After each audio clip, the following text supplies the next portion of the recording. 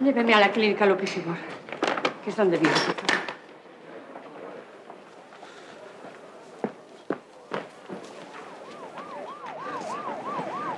Pepa. Pepa. Lucía.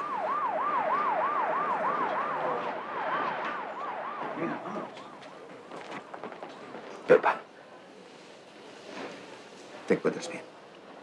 Quita, Me has salvado la vida, cariño. no tengas miedo.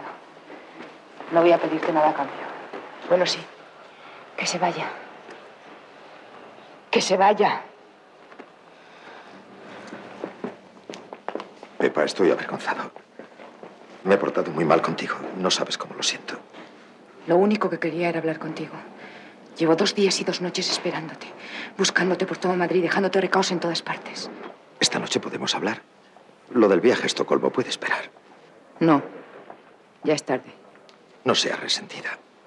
Cambio los billetes y tomamos algo en la cafetería. No. Ayer, esta mañana a mediodía, todavía era posible. Pero ahora ya es tarde. Hace ya dos horas que es tarde. Entonces, ¿por qué has venido aquí sino para hablar conmigo? Me enteré de que Lucía venía a matarte y yo la seguí hasta aquí para impedírselo. Como ya no corres peligro, me voy. Adiós.